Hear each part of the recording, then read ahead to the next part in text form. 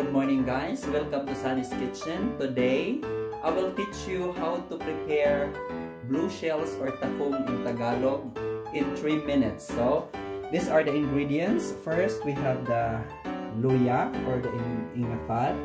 Then, the tanglad or the lemongrass. Then, red onions. Uh, spring onions. Uh, one piece uh, red chili. Yung tinatawag na espada.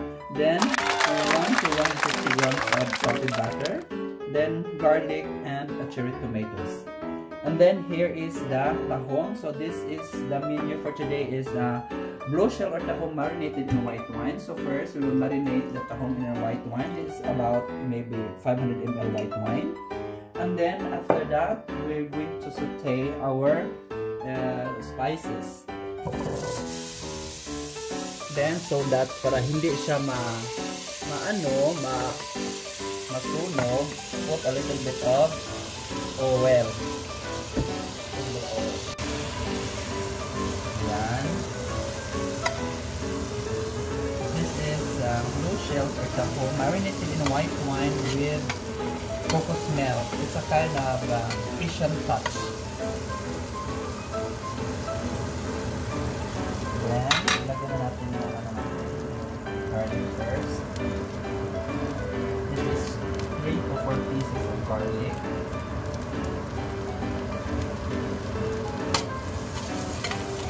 Then, follow natin yung red onions.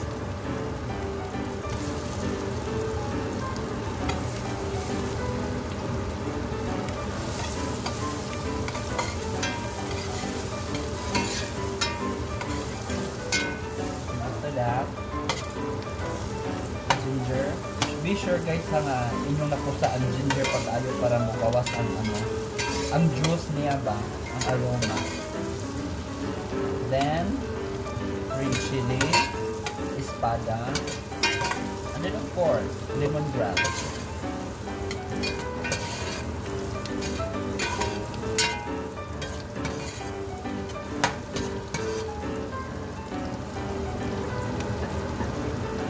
A little bit of pepper, malt, pepper powder, then a little bit of sugar,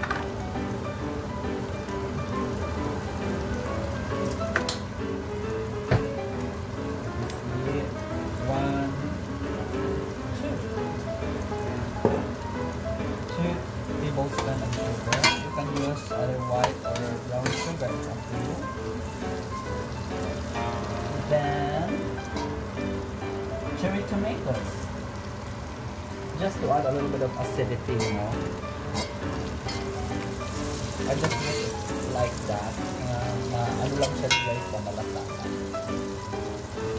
And now, yung tahong na may white wine.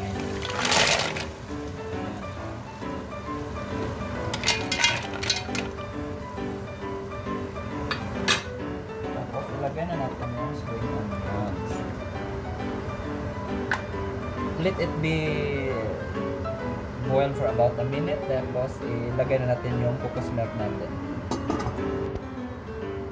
Tingnan natin. After 1 to 2 minutes, then ito na yung itsura. So, bumubuka ka. Bumubuka na yun. So, ilagay na natin yung cocoa milk natin. The reason na hindi ko nilagay po na yung cocoa milk kasi ayaw ko masyadong yung ma-oily.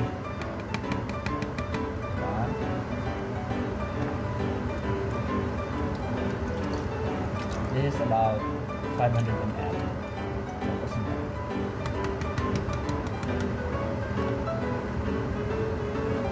By the way, shout out, I'm using Salad Master. I'm cooking with Salad Master by the way. Salad Master is the best cookware in the universe. Chat bro.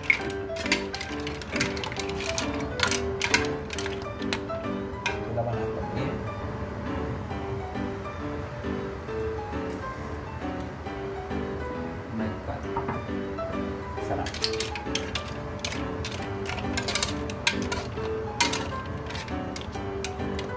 And then, I will just add a little of, just a little bit of salt. 1, 2, 3, 4, 5, 6, 7, 8, 9, 10.